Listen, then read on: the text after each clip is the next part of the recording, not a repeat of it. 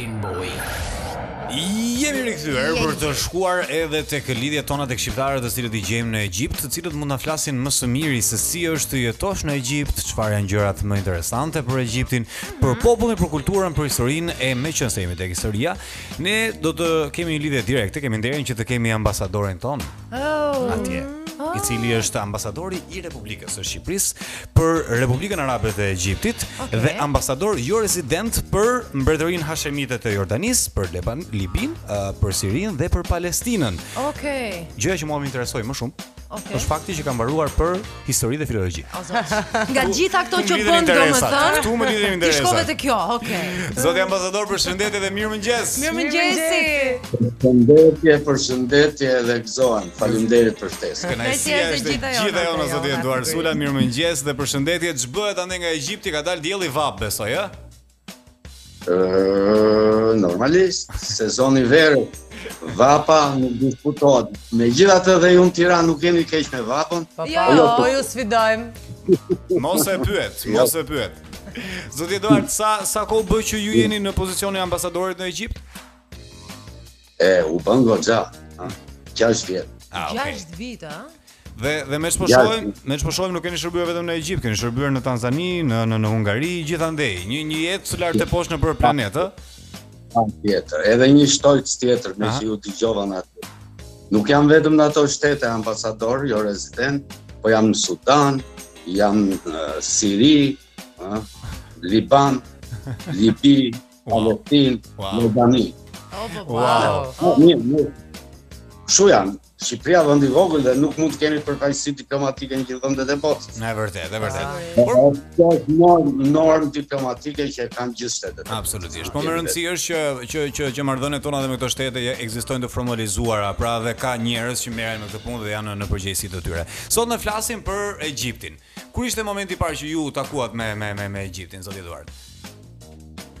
Oh, shumë e bukur. Momentet e para janë në shkollë, që në 8 vjeçare. Wow. Në histori, jo se kam vizituar Egjiptin, a? Po po, është kur e thjesht e shikon nëpër rreshta. Joja për po Egjiptin, në Plus uh, mos harrojmë që marrëdhëniet e vendit tonë, shqiptarët, popullit tonë me me Egjiptin edhe zonën këtu kanë qenë tradicionalisht historike shekullore. Mm -hmm.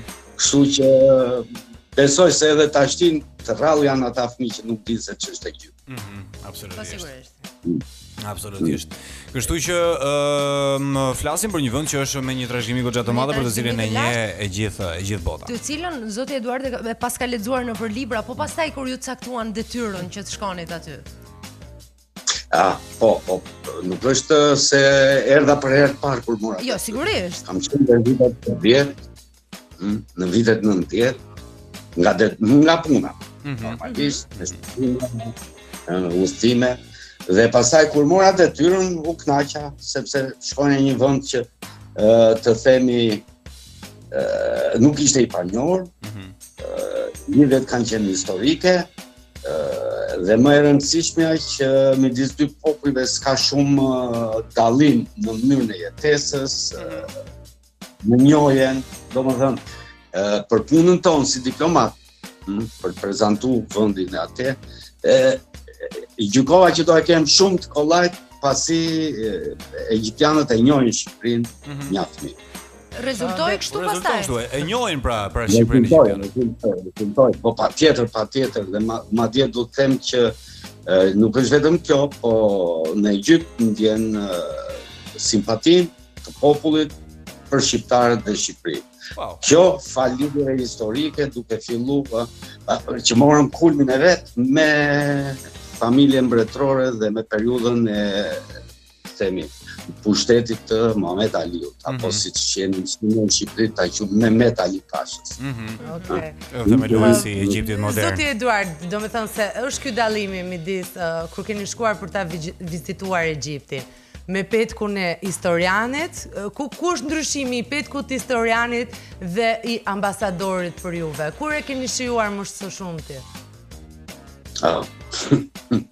Shiko, uh, unë vërtet kam një diplomë në histori, uh, po nuk kam punu shumë në fushën e historisë, mm -hmm. ose të themi nuk jam ekspert që kam punu për atë. Sepse jeta ma ka pru që të merrem me diplomaci dhe Po diplomacia me historinë janë shumë të lidhura po. sepse është mm -hmm. vetë natyra e detyrës që duhet të mësosh për një vend, mësosh historinë e tij dhe të gjitha. Mm -hmm. Dhe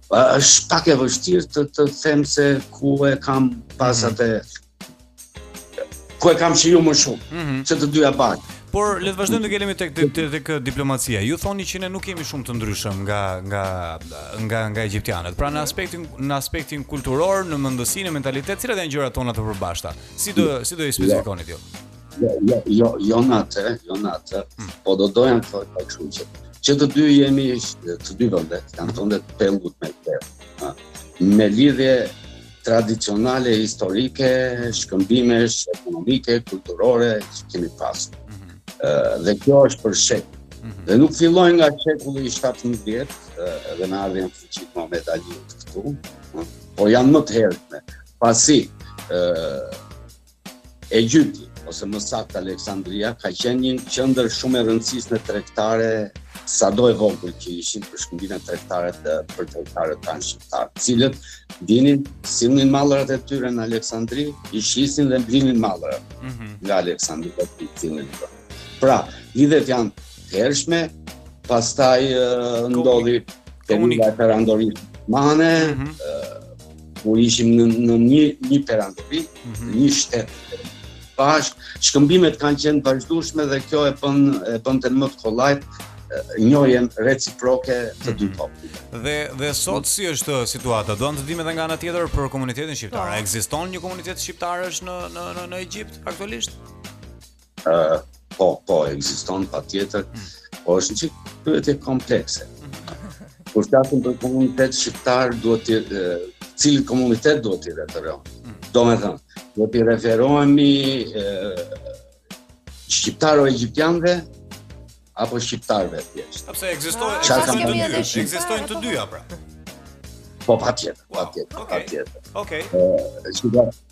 Ardhja e Mehmet Aliut në Egjipt solli një numër të madh shqiptarësh që erdhën këtu. Një pjesë erdhën me me të, me shpurën e tij, morën poste drejtuese, të tjerë erdhën pastaj për të gjetë mundësi, siç jemi, ne kemi qenë popull migrator me kohë, mhm. për të gjetë mundësi jetese, për të ndihmuar familjet e të tjerë. Dhe numri i shqiptar, e, egjiptiano-shqiptarëve, ose shqiptaro-egjiptianëve, Është i madh dhe është pak e vështirë. Domethënë unë nuk jam në gjendje të të jap shifra ekzakte. Mm. Dikur ka pas një listë që duhet të jetë në arkivin e ministrisë së jashtme. Mm. Numri është shumë i madh, po di të them një gjë që kudo që shkoj, mhm. kudo që takoj, me egjiptianë të rinj për shkak të detyrës. Edhe do të rritet një që të kush thotë e gjyshi im ka qenë nga Shqipëria, gjyshja ime nga Shqipëria, babai im kështu, bab... Wow. Ë? Pra i kemi i kemi lidhje të hershme. Wow. Po, shumë të hershme. E keqja është që nuk kanë mundur të ruajnë gjuhën, mm -hmm. gjuhën amtare, gjuhën shqipe, shkaqet kanë qenë politike, periudha e ndryshimeve, domethënë rrëzimi i monarkisë dhe vendosja kthimi i Egjiptit në republikë, solli dhe një valë represioni, pasi shqiptarët kishin postet kyçe në, në drejtim të shtetit, solli një valë represioni dhe kështu që detyrimisht shkallë shkallë, filluan të humba, të humbasin dhe gjuhën. Në do zbej. Megjithatë, ka, ka mes tyre që flasin shqip dhe flasin shumë. Wow. Ja urdhëro. E çuditshme, të ecësh në rrugët e, e Egjiptit në qytete vetëm ato mëdhaja dhe të gjesh njerëz që njerëz që flasin shqip. Fantastike, duhet të jetë mos. Ja, gjynah ata, që na dëgjojnë neve.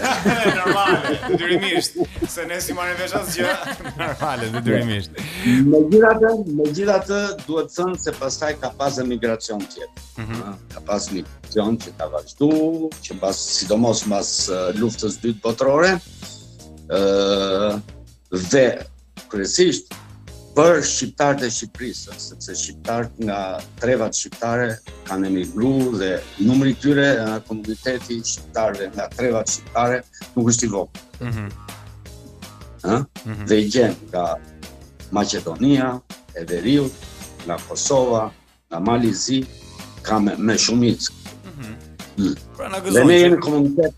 Shiko, jemi komunitet bashkë, ne nuk bëjmë dallim se themi përkatësie shtetërore, por përkatësie kombëtare. E kjo është kjo është kjo, kjo është diçka e rëndësishme, edhe kjo për t'u për t'u diskutuar. Nuk e dim nëse ka organizata shqiptarësh në formale në në në Egjipt, por përderisa zoti Eduard na thotë që shqiptarët janë bashkë me njëri tjetrin, kjo është diçka për t'u vlerësuar dhe për të na gëzuar, sepse në fund të ditës dikush nesër do të dojë ta vizitojë ose do të dojë që të eksplorojë dhe jetën e tij, pse jo edhe në një vend si Egjipti dhe ka një vend ku të ku të trokash le të themi, përveç pra. Nuk e pra di a ka ngelur ndonjë egjiptian në Egjipt. Për shifra. Përveç instancave shtetërore kanë edhe një një një familje le të themi kështu individësh të cilët mund t'i ofrojnë edhe ngrohtësi dhe kjo na Na gëzon. E sot vazhdojnë akoma të kenë cilët janë marrë dhe më mirë se ju kë mund të pyesim. Cilat janë marrëdhëniet sot aktualisht midis Shqipërisë dhe dhe Egjiptit? A vazhdojmë të kemi marrëdhënie ekonomike, marrëdhënie kulturore? Ë po. Hmm. Ë duhet të themi që normalisht marrëdhëniet vazhdojnë të jenë shumë të mira historike gjithmonë midis dy popujve dhe dy vendeve tona. Mm -hmm. Do nuk ka probleme. Do të bëj dhe një shtojcë tjetër, ëh, mm -hmm. që nuk janë vetëm shqiptarët ku mund të gjejnë mbështetje në rast se vijnë këtu. Mm -hmm. Egjiptianët janë popull shumë mikpritës dhe kanë një respekt të jashtëzakonshëm për shqiptarët. Wow. Se nuk e bëj këtë këtë ndërhyrje nuk e bëj se jam ambasador këtu, po sepse ky është realiteti. Mm -hmm. Mhm. Në një. E, që të vazhdojmë tash direkt me, me çështjen që kemi për komunitetin shqiptar. Unë e quj komunitet dhe jo diasporë, pasi numri është i vogël.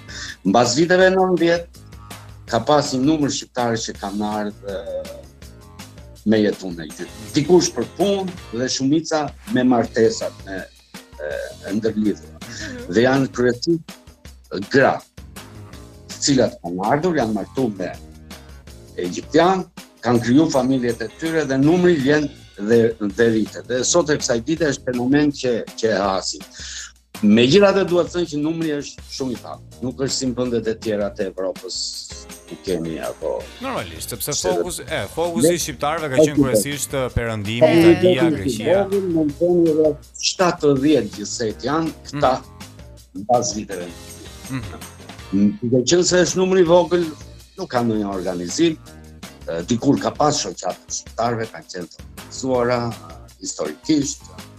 këtu, po thashë mas ndryshimeve me rënien e perandori e, e mbretërisë në Egjipt, u politikisht u bë e pamundur mbajtja e këtyre shoqatave. Është qartë, është qartë. Fantastike.